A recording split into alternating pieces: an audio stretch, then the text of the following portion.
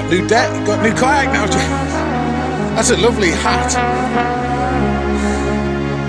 Jake's top of 100.